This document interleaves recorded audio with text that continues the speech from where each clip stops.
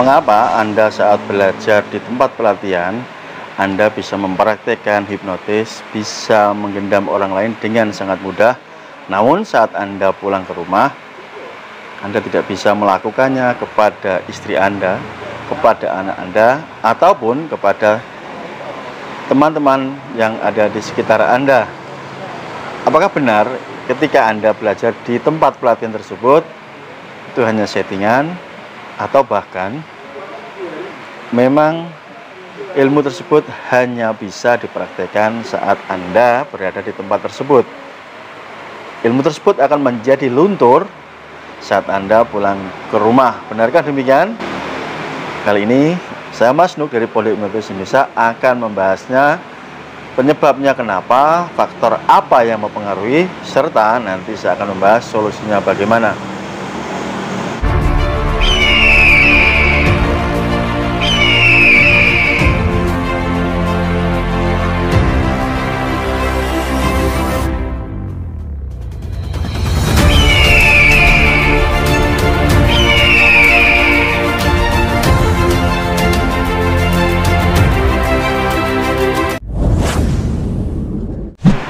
Assalamualaikum warahmatullahi wabarakatuh. Jumpa kembali dengan saya Mas Nuk dari Pondok Hipnotis Indonesia.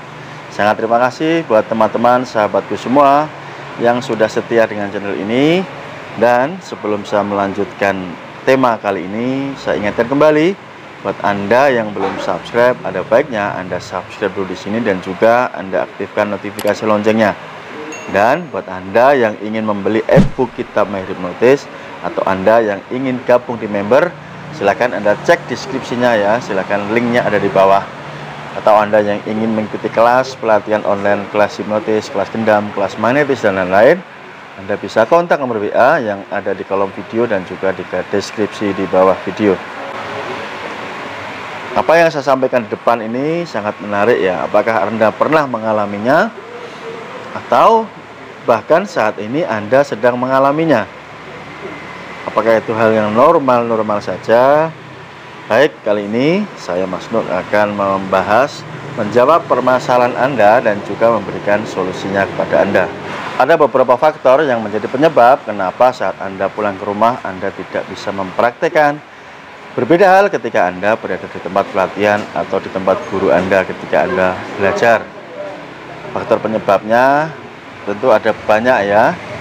Kali ini saya akan mengupasnya dengan santai menurut saya sih saat Anda di tempat pelatihan, saat Anda belajar ilmu hipnotis atau belajar ilmu gendam, yang seringnya terjadi ini kan Anda diberikan tekniknya ya. Kalau belajar hipnotis diberikan cara atau teknik menghipnotis, menghipnotisnya.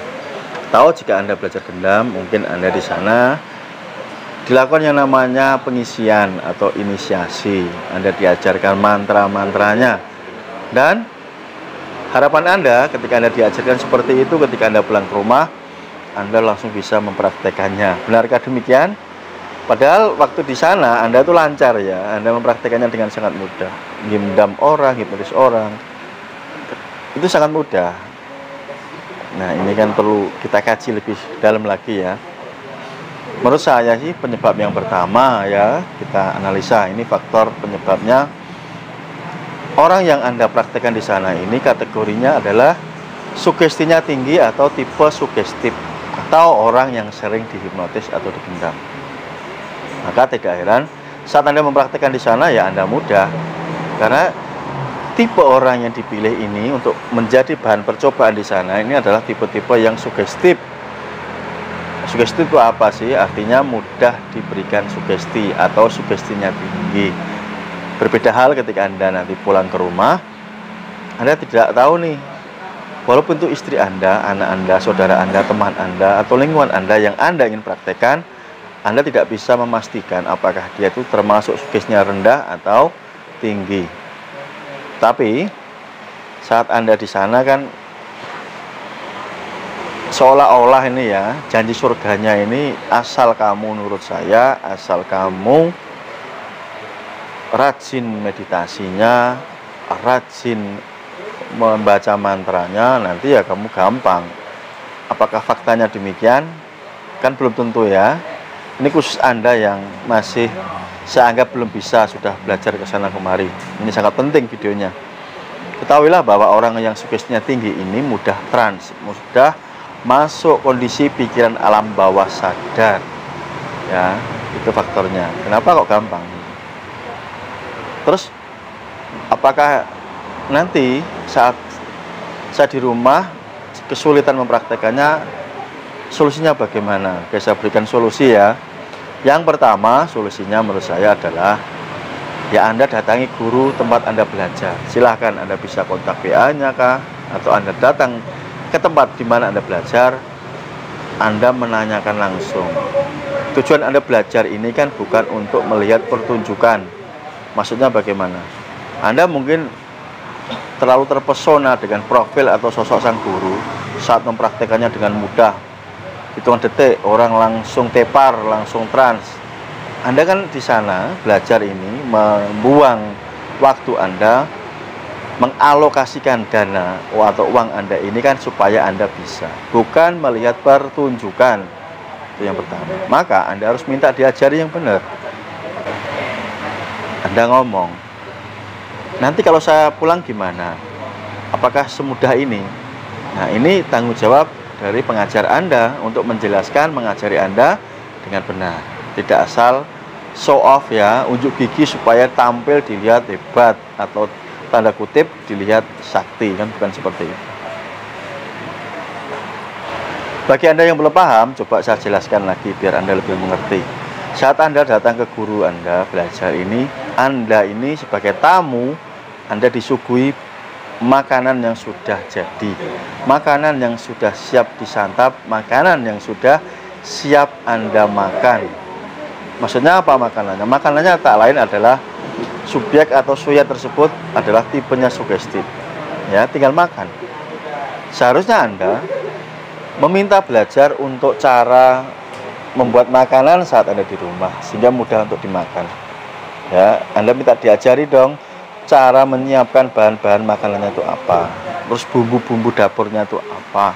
Anda minta diajari cara memasaknya yang benar sehingga nanti saat Anda pulang ke rumah anda bisa mempraktekannya, Anda bisa membuat makanan sendiri, menciptakan kreasi makanan sendiri dan Anda bisa menyantap atau memakannya. Tuh. Ya, Anda tanyakan. Terus misalkan guru yang saya tanyakan ini kok tidak menanggapinya gimana Mas Nuk? Ya sudah, itu pilihan ya. Itu kan langkah solusi yang pertama. Berarti kan Anda harus mencari solusi lainnya, solusi yang kedua. Apa? Mau tidak mau ya Anda harus mencari guru yang tepat yang bisa mengajarkan yang demikian yang Anda harapkan ya Anda mau tidak mau harus mencarinya kecuali Anda putus asa Anda menyerah ya sudah saya tidak akan bisa ngomong apa-apa tapi saat Anda masih berkeinginan kuat untuk melanjutkan pencarian tentang keilmuan ini ya Anda harus berani mencari guru yang tepat lalu Bagaimana Mas Nuk cara menemukan guru yang tepat? Caranya sih gampang ya. Anda cukup buka mata Anda, buka telinga Anda lebar-lebar dan gunakan hati nurani Anda. Saya yakin Anda akan menemukannya. Ya. Banyak sekali kok di Indonesia ini guru-guru yang benar, guru-guru yang hebat, yang benar-benar mengajarkan tidak hanya guru yang show off ya, guru-guru yang flexing ya kalau istilah sekarang pamer kesaktian tidak masih banyak guru yang baik menurut saya yang mengajarkan benar mengajari muridnya ciri-cirinya apa sih guru yang benar. Ya guru yang bisa mendampingi anda guru yang bisa mengajarkan anda guru yang bisa membimbing anda. Oke itu ciri-cirinya. Dan tidak kebanyakan flexing atau show off merasa dirinya paling tahu paling hebat. Ya kalau sudah seperti itu ya ciri-cirinya susah gitu ya. Cobalah anda gunakan hati nurani anda anda gunakan uh, mata dan telinga anda anda bisa mengamati. Di YouTube kan banyak sekali. Anda bisa mendengarkan apa pun yang ada di luar sana. Gunakan hati nurani anda.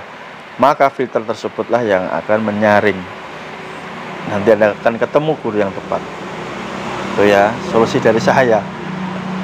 Oke terima kasih buat sahabatku semua. Semoga bermanfaat Sampai jumpa di kelas pelatihan saya, kelas hipnotis, kelas gendam, magnetis, telepati, dan lain sebagainya.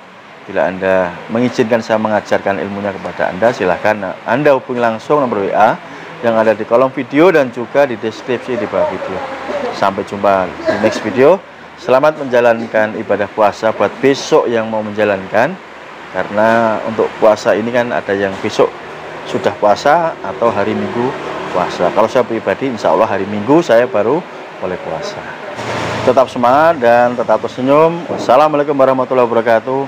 Salam hipnosa.